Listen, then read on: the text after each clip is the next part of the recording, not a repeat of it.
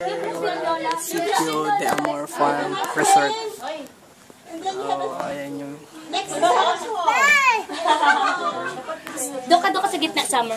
Doon ka gitna. Dali, dali. Dali.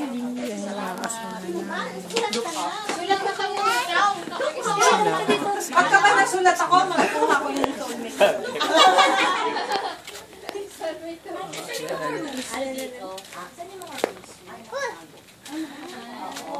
Hello, baby. Yan po ba yung mango tree? Hindi. Ang kalawag doon, ang dating bahay ni Yung mga tumanong Manong. From Kalawag, binili niya naman ang sir yung bahay. And then lahat ng piece by piece ng kahoy, yun ang ginagamit namin. Wow. Oo. Summer, let's go.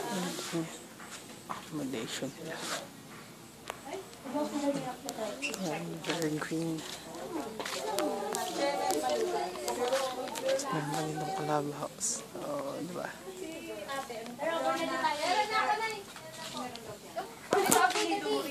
Okay.